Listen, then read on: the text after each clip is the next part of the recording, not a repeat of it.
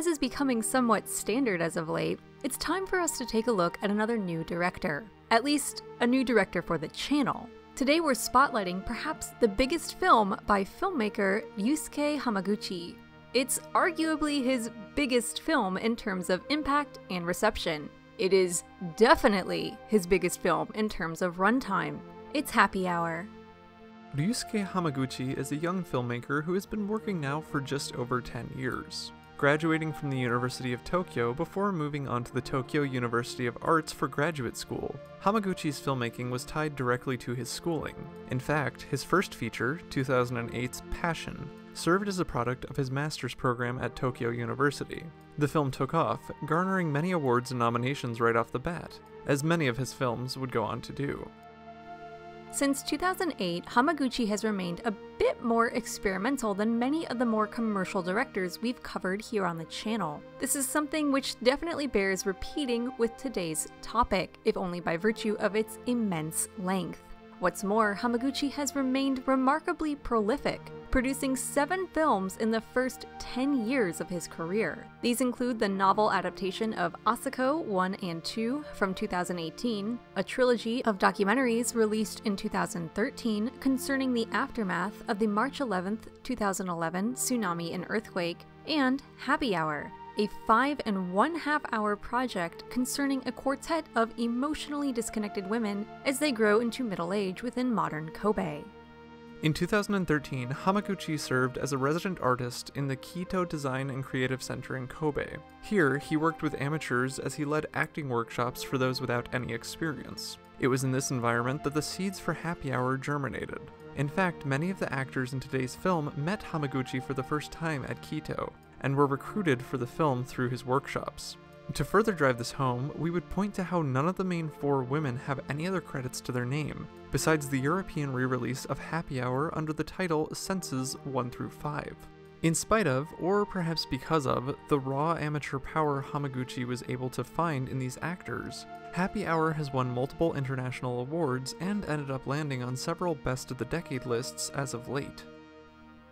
Happy Hour saw its initial release in 2015, with festival appearances surrounding this date. As mentioned before, it was re released in Europe in 2018 as Senses 1 through 5, five hour long segments of the film, which, as far as we know, don't add or subtract any content. More importantly, for our North American viewers, the film was released in 2017 by independent distributor Kim Stim, who were gracious enough to provide us a review copy of the film. Kim Stim picked up the film for release on DVD, Blu ray, and digital platforms, including Amazon Prime. Truly, unless the runtime is a major stumbling block, you owe it to yourself to check out this sleeper hit. It's a gut punch of drama, examining four slices of life and how they intersect in a palpable, poignant manner. Be sure to check it out and to support Kim Stim for bringing this one stateside. Once you've seen the film, be sure to come back and give our video a look as we dive into what we believe to be the main components of Happy Hour.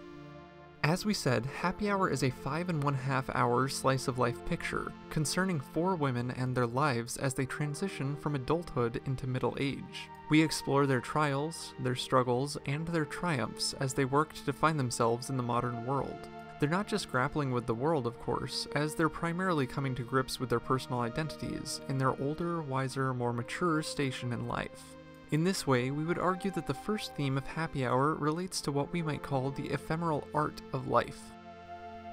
After a brief period of getting to know our four main women, Fumi, Akari, Jun, and Sakurako, we begin to see how their lives and the lives of their respective families overlap.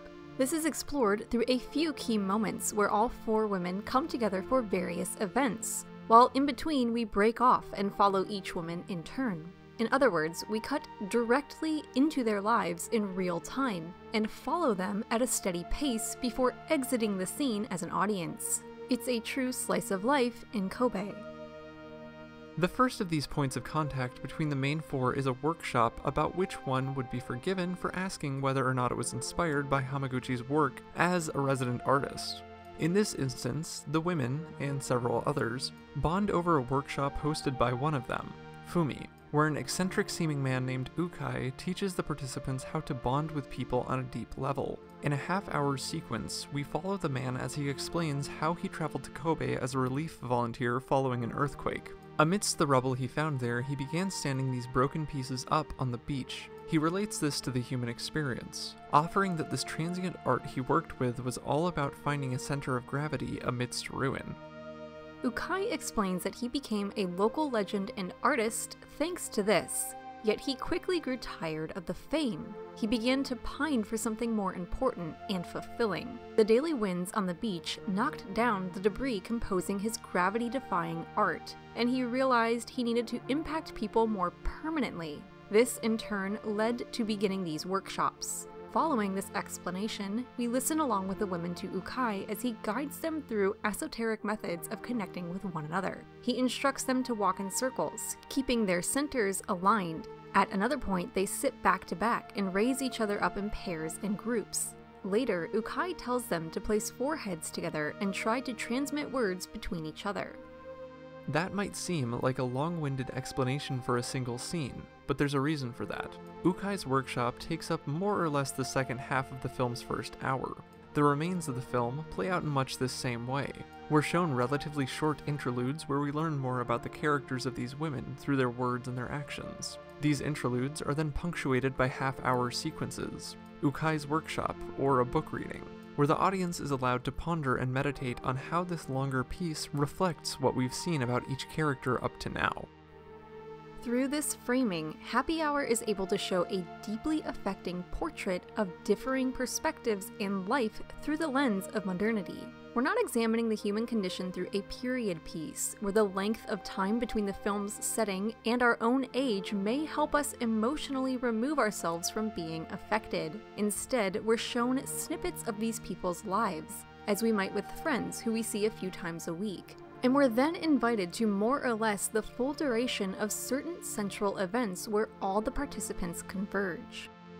Furthering this immersion, Happy Hour stylistically tricks us into believing its narrative, in how time is entirely linear through its runtime. That is to say, there are no flashbacks, only memories. Just like in real life, anecdotes are told by the characters, not shown. This, of course, breaks the typical logic of storytelling show, don't tell. But it also heightens immersion by sticking to how situations would literally play out. In this way, Happy Hour is subtle in how it portrays the lives and interactions of these women and the secondary characters who overlap with them. Thankfully, given how true to life the resultant film is, Happy Hour never overstays its welcome, nor does it become become boring, instead, being a huge project one might simply fall into.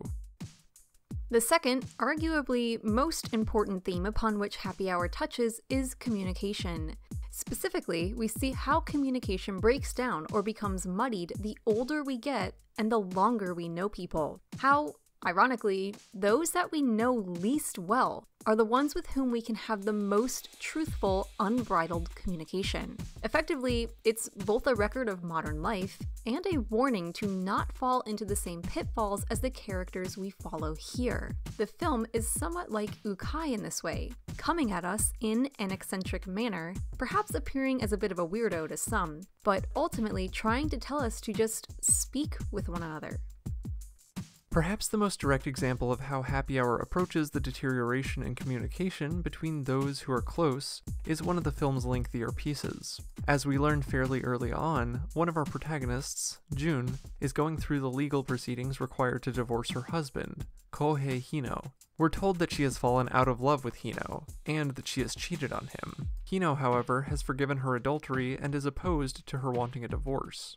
Halfway into the film, the three other women appear at a hearing where Jun is questioned by Hino's lawyer. Everyone else, the women, the judge, and Hino himself, remains silent throughout this piece. Meanwhile, the husband, who purports to love Jun, speaks through a lawyer to bring her back to him, instead of settling this in private or being able to reconcile their differences. They've come to this moment in time where Hino sees it as necessary and acceptable to rope Jun back in through the legal prowess of his lawyer. This itself represents a breakdown in communication, though it's driven home in how the scene is presented visually. Though Jun is providing her side of the story. She's being denied a voice or agency by her husband and his lawyer. Though Jun speaks at length here, she's fuzzy, and the ever silent Hino is held in perfect focus. We also see this side of things explored further when Hino approaches Jun in person at her apartment. She doesn't want him there, but knows that she must at least humor him. Their communication has continued to break down in a stalemate. Together, the two are silhouetted against the skyline, showing the audience that this is the dark side of modern life. Hino claims he loves her no matter what, yet outright refuses to care about what she wants, that being whether or not she loves him or wants to be with him. The conversation comes to a head when Jun states that she has spent nearly a decade alone. Her husband has only shown interest in her now that they are living apart. She thinks he views her as an object or a conquest, while he continues to demand that his controlling actions are born out of love. In short order, Hino's designs for Jun succeed legally, but fail practically. He has the judge deny her motive for a divorce, meaning that she must remain married to him in spite of her wishes. We say this fails practically as Jun almost immediately flees, catching a ferry away from Kobe, disappearing out of the movie and everyone's lives. This represents another wrinkle in the poor communication between Jun and Hino. Prior to escaping, Jun admits that she's been so desperate that she has been lying in court about her affair and their relationship. In other words, for half of the film, it appears that the differences between Hino and Jun are irreconcilable, primarily thanks to Hino's demands on Jun and his refusal to let her go. Later, however, we hear the husband's side of things. In one of the longer scenes, this time being a dinner after party following another art exhibit, we are suddenly presented with the reality that we saw this entire situation from Jun's perspective only. As a result, without a second thought, we were made to hate Hino, to see him as heartless, controlling, and maybe even sociopathic. Now he is finally provided an opportunity to air his grievances with Jun publicly, We've only seen him in scenes with Jun, and she has had no interest in hearing from him. Here, Fumi and Sakurako are willing to hear him out. As a result, we're slapped with the reality that Hino makes some good points and some bad points, just like Jun, making us realize after a slow build that no one is 100% in the right or the wrong here.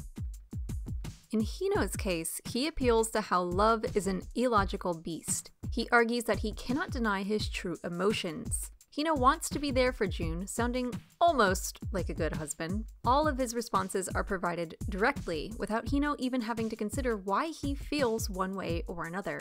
He never raises his voice, speaking measuredly and calmly. It's easy in this moment to see how, were we able to have known Hino first, rather than Jun, we likely would have sympathized with him and much more.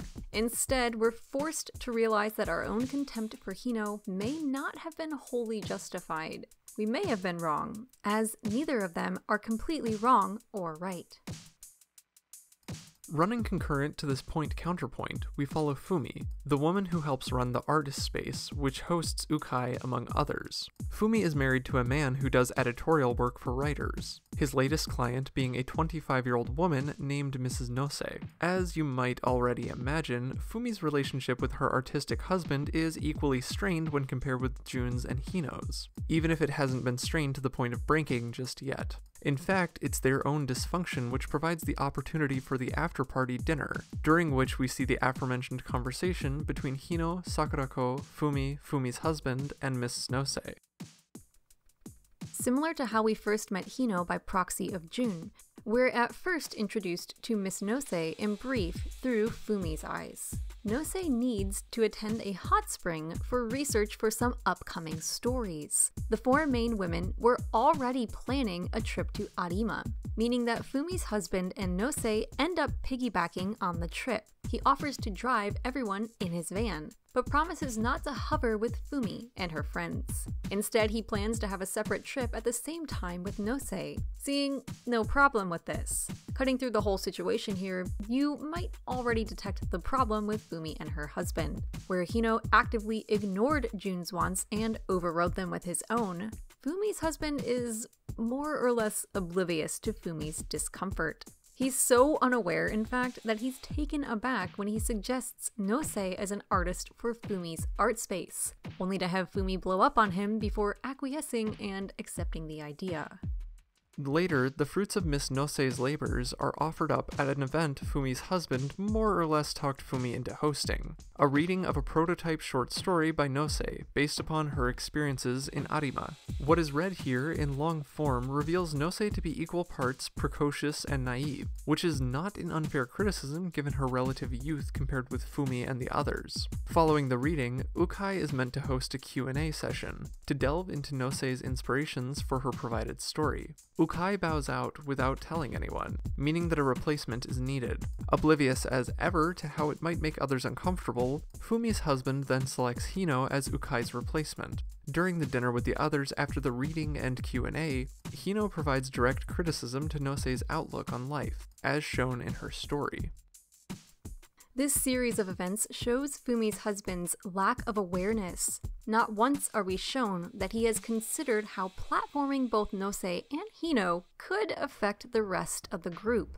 By extension, this pair up leads to the scene we keep mentioning, where Fumi's discontent as well as Hino's perspective on Jun are offered. It's uncomfortable, to say the least. Regardless, during Hino's criticism of her work as immature, Nose admits that she tries to remove herself as much as she can from her works. Hino then shoots back that she appears clearly throughout the story she's just read. Part of the story dealt with a subtle romance narrative, which Hino calls out quickly as ringing false. In other words, Nose's never truly been in love. This is expressed through her inability to write about love. You may be quick to see the irony here, as the one to call this out is Hino, who knows exclusively about his own type of love, not the storybook ideal, even if none of us like what his take on love entails. This interaction presents us with another dimension regarding communication breaking down. Miss Nose is attempting to be truthful while hiding herself from her work. She thinks she is removing herself from the writing, but is criticized for being inseparable from it. Nose cannot communicate in an earnest manner with the adults in the room, all of whom have experienced some form of love. As a result, they all look at her as a child, except perhaps Fumi's husband, who comes quickly to her rescue when Hino starts to talk down to her. This interaction, by extension, pushes things to a boiling point between Fumi and her husband. After this, Sakurako is the one to finally bring Fumi's discontent to her husband's attention. She asks him how he could never realize that Fumi was upset with how much time and attention her husband was devoting to a young woman who seems to have feelings for him. At this, he seems taken aback again, claiming he never detected these issues. Again, we would argue that the point here is how both Fumi and her husband are in the wrong. She should have said something, but he should have tried harder to understand her. In fact, it's arguable that this was telegraphed earlier during the trip to Arima. At a hot spring, Fumi commented to the other women that she worried about not being accepted by anyone if she were always completely forward about her feelings and thoughts. Fumi's husband is oblivious, while Fumi has been sacrificing herself for the acceptance of others. Unfortunately, the woman to present this, Sakurako, isn't herself in the best of positions with her own husband, Yoshihiko, and son, Daiki. As a housewife, Sakurako has arguably the most diverse home life of the four. She has a husband who appears to more or less ignore her, being forever at work or at the kitchen table with a newspaper, a son who is ungrateful to his parents given his age, and a mother in law with whom she genuinely connects over household manners. We observe that Sakurako and her mother-in-law are the closest, as she is the only person with whom Sakurako can commiserate about the worst parts of her husband. The mother gives parenting advice for dealing with both Yoshihiko and Daiki based on how she raised Yoshihiko. A few good whacks, more or less, and she says he was set straight. Daiki, meanwhile, is a teen who is bored, if not openly rebellious to his parents. The mother in law tells the parents at one point that Daiki has been bringing a young woman around when they've been out. Ultimately, Daiki gets this young woman pregnant. Rather than taking charge, Yoshihiko ignores the situation, meaning that Sakurako and her mother in law are made to clean this up. Daiki, upset by his parents' reactions, even tries to elope with the young woman. He's the final character to see Jun as he waits at a ferry port for the woman who, as it turns out, stands him up. Yoshihiko seems to more or less hold his tongue around Sakurako, appearing cold, distant, and perhaps disaffected. He's not the warm, loving husband Sakurako seems to want him to be, instead being extremely paternalistic toward her. In fact, rather than approaching Sakurako about her apparent discontent with domestic life, Yoshihiko instead tells the women that they need to leave Sakurako alone until her mood improves. In this way, he labels them bad influences, meaning he's treating his own wife more or less like a child. In spite of acting paternal, even to his own wife, Yoshihiko places more burden on her than she thinks is fair. At one point, it's explained that the family has taken on his mother when his sister refused to. He's portrayed as not being a part of the family's daily life, instead, expecting everything to be ready for him on command. This means that it's a no-brainer for his mother-in-law to move in. From Sakurako's perspective, he likely thinks this is not his problem, so he's not bothered by it. Again, the film here explores how we see this as unfair, given that we're looking at it from Yoshihiko's and Sakurako's perspective, not accounting for any of his sister's needs or struggles. For all we know, she could have legitimate reasons to not take in their mother. To us, though, this character we've only heard of, but never seen, is a shiftless lazybones. At the same time, Sakurako is shown to have a different struggle than Jun or Fumi in her home life. Here, a dimension is added by the introduction of a parent and a child, something that the others do not have, at least at present. There's a balance between Sakurako's discontent and Yoshihiko's rude nature, and the pride and fulfillment she receives from raising her family and being, in a way, the true head of the family. Events between Sakurako and Yoshihiko come to a head very late in the film, which we won't spoil given that they could be argued to be the true climax of the picture. We will say, however, that Sakurako's journey is perhaps the most subtle of the four, simply given how much more complex her familial web is. The final of the four women, Akari, has already been through a divorce, where Jun is proceeding through one, and Fumi and Sakurako go through trying times. Akari comes into the film on her own. Of the four, she is easily the most hardened, even saying she's too light on her subordinate nurse at work, in spite of chewing her out for more than half of their shared screen time. In a phrase, it would seem that Akari has been burned and that her emotional skin has not just thickened, but calloused. Halfway in, this mentality ends up getting her injured, as she breaks a leg falling down the stairs after storming away from the latest chew out session with her subordinate. Akari spends the first chunk of the film more or less brooding about, with a few light moments cropping up here and there. Later, however, Ukai and his sister are instrumental in trying to pry Akari's death grip away from her emotions. This handle on her self portrayal even extends metaphorically beyond her emotions. She complains after Ukai's workshop about needing liability insurance as a nurse. In her words, this and the bureaucracy of the medical industry keep her from providing the care she wants to provide, given her passion for healthcare. Akari wants to be a softer person, but she's been so hurt that she sees no path forward for herself professionally or emotionally other than being as gruff and straightforward as possible. Up to now, we are also shown that Akari has been seeing another, presumably, divorced man with a daughter. These are those moments of brightness we mentioned a moment ago, as these are the few points during which we see Akari smiling and seemingly comfortable in her own skin. She seems to think that she can find happiness in a traditional marriage and family, the very setup that hurt her in the first place. At her root, however, she and we learn that there are character and boundary issues with others that she has never addressed. In short, she has tried to protect herself by closing herself off. These issues, as Ukai and his sister show, must come to a head for her to truly pursue happiness in any real capacity. If not happiness, she needs to address these issues to achieve any sense of fulfillment. In other words, Akari is going through the motions without even a family like Sakurako to feel some sense of fulfillment. She's angry and needs to learn to redirect her energy and ambitions to grow as a person and to truly bond with others. As you can hopefully see, this second theme of happy hour, communication, runs throughout all four of these plots. All of them are predicated on some type of communication issue. Jun is not being heard by her husband. Fumi's husband is oblivious, though she's also not talking to him. Sakurako's husband acts more like a father than a lover, and Akari is stumbling through her adult life toward a lonely future thanks to her coldness. By the conclusion of the film's runtime, you'd be forgiven for wanting to yell at the screen that all of these people just need to talk to one another. You get the feeling that this might solve all of the issues presented through each character. In turn, this perception leads directly to what we consider the third theme of Happy Hour, that being connection between adults. Not communication, mind you, but genuine connection.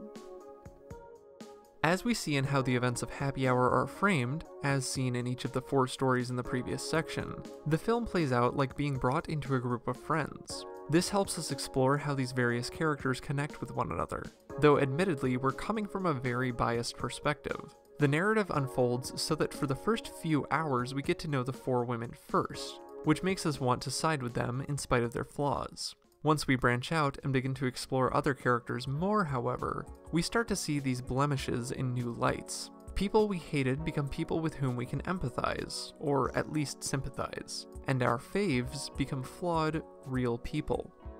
Just like with a group of friends, we want so badly to stand the people we were introduced to first, prioritizing them over those we see as outsiders. Yet we're forced to realize that's probably not fair to the others. We are also asked at points to consider who we side with amongst the main four. When Jun tells Sakurako, but not Akari, nor us, about her adultery, we're made to feel left out. And given that we know Akari has been cheated on, we might side against Jun here, until we learn more about Jun's situation. When the women leave Arima, Jun lingers behind temporarily, kicking off her road trip away from Hino. Shortly, she boards a bus and encounters a woman who earlier took a group photo of the women. The woman explains the shifting of perspectives and the confusion of adult connections best. She states that our perspectives are hard to change, and that cognitive dissonance is likely easier than accepting the harsh truths present in adult life. This is shown in how she was told as a kid that her grandfather had moved to Osaka. Her parents were softening the blow of his death, and she continued holding on to this idea long after we might think she should have grown out of it. Even when old enough to know he was dead, she still couldn't comprehend it when told directly by another relative. Again, the cognitive dissonance of knowing somewhere in her heart that he was dead, but claiming he simply moved was easier than true acceptance. In much the same way, Happy Hour acts as a litmus test of how forgiving the audience is for their favorite and most relatable characters. This is further exemplified in how Ukai and his sister are introduced. Ukai is shown as the leader of the eccentric workshop to help adults connect with one another. His sister, meanwhile, is not revealed to be his sister until very late into the film. However, we meet her during the workshop when she criticizes his class, saying that it was confusing and likely pointless. We assume at this point, and in the diner afterward, that she's a rando who joined his class on a whim. Thus, not knowing her, we believe her criticisms are genuine and unbiased. Learning late into the film that they are siblings, this recontextualizes her harsh words. We're made to ask then if this was good natured ribbing as a sister, or a statement from the film on how we can say these things to family yet not to friends. In the long run, these two offer a remarkably different take on human connection when compared with the four main women. Between Ukai and his sister, communication doesn't break down, which is implied to be due to their familial nature. Again, this is never made clear. Is it because they're family, or because they've taken the time to truly connect? This is something which Akari actively misunderstands when asking late in the film why the sister is so close to Ukai. In other words, she's incapable of bonding this way and struggles to understand how someone else can. In fact, this lack of true connection extends to all four of our leads, all of whom seem to be in the early stages of proto midlife crisis. As we explained in the section on communication, none of the women are truly satisfied with their stations in life. Yet, in spite of this, they've found some sense of connection with one another. The opening scene of the film shows a group of 30 somethings who have known one another for half their lives in some cases, all commiserating on how their families don't appreciate them. Rather, they have to rely on one another for support. In spite of the poor weather just outside their picnic shelter, the four women are seen complimenting each other's foods. They even compare the rainy atmosphere atop this mountain to their outlook on life going forward murky, misty, and impenetrable. They're not shown to be at the point of crisis yet, but they're well on the way if their connections with others are not strengthened preemptively. At the same time, all of these women are dutiful to family, work, or whatever they perceive as leading to happiness. This is shown to the point that they attempt to coordinate their busy calendars, meaning their next major group outing will come in several months rather than several weeks or several days. We're made to ask if these connections are helpful for them, if they benefit those with whom the women don't connect truly. Instead, it's as though we're supposed to hope that they will form truer bonds with other humans rather than abstractions, or people who don't appreciate them. Visually, the film explains this to us, showing the moments when true connections form in a particular way. During these connection points, we move from the role of third party observer to being in the direct line of fire, with each connectee facing us heads on, and the camera swapping a full 180 degrees to allow us access to both sides of a deep conversation. This happens with Fumi and her friends when she discovers her discontent at expressing her true self, as well as with Hino and the others when he grills Nose for being naive. Not to mention Jun on the bus leaving Arima when she discusses her and another woman's life stories. These are but a few examples of this subtle trick being employed within Happy Hour, while other examples pepper the film. This visual device mirrors Ukai's workshop, where during one exercise he tells the participants to align their centers with one another and circle in unison. The idea is to find one's center, then connect it with the partner, and to remain in sync despite being in motion. This is perhaps the most important activity developed by Ukai, compared especially with the brainwave connection he attempts to teach later. As we observe with Fumi, Jun, Sakurako, and Akari, psychic connections do not happen. Perhaps Ukai is using this as a metaphor to ask his students to consider their communication and connection skills in the abstract. What we might argue the film is really getting at here is how we must speak with one another to be heard, hence the direct approach during these moments of genuine connection. We're not seeing psychic connections without verbalization as Ukai idealizes. Instead, these are moments of genuine speech and genuine hearing, where two individuals have aligned their centers, and thus can connect.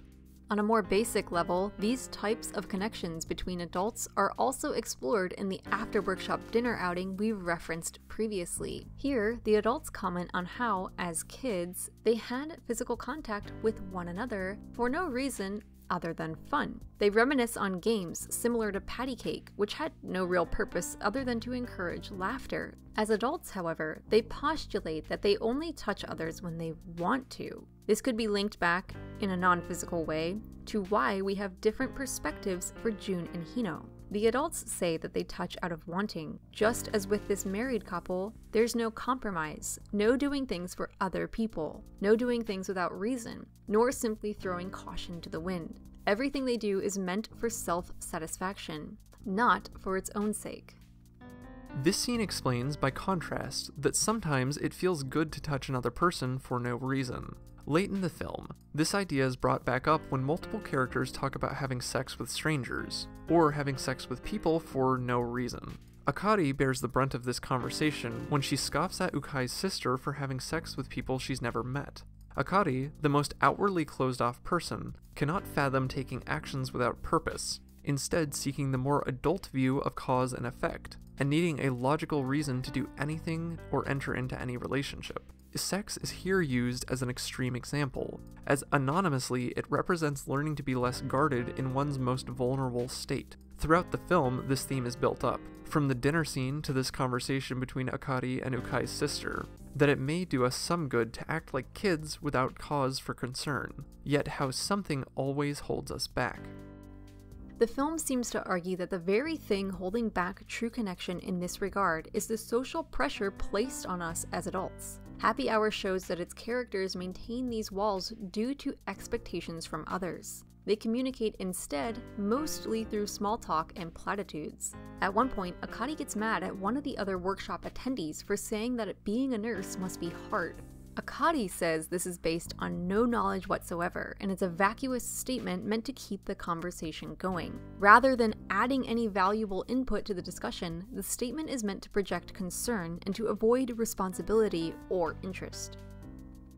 Throughout the film, we see these types of small talk and avoidance tactics as typical hallmarks of adult contact. Meanwhile, at the same time, a true bond is formed between Akari and a young man in the group, when they both open up about having been cheated on and subsequently divorcing their partners. This is a true connection, as shown in the visual moments throughout the remainder of the film, a rare moment amidst the multitude of small talk and platitudes offered between people avoiding genuine contact. Happy Hour more or less asks us then to throw caution to the wind every now and again and live as children might. It won't always be pretty, but it's a more satisfying way in which to live, and a more honest way in which to live. As you can hopefully see, Happy Hour is a deep, subtle, slow, brooding beast of a film. It's packed to the brim with nuance and theming, while seeming as though it simply trucks along for its runtime, which could fit within any typical film trilogy. Definitely check this one out if you haven't already. It might teach you something about yourself, human communication, connections, or the secret world of adults entering middle age. We cannot recommend this one highly enough, and we're more than excited to return later on to some of Ryusuke Hamaguchi's other directorial efforts. Let us know below what you think of Happy Hour and Hamaguchi's other films. Until next time, see what Happy Hour might have to teach you.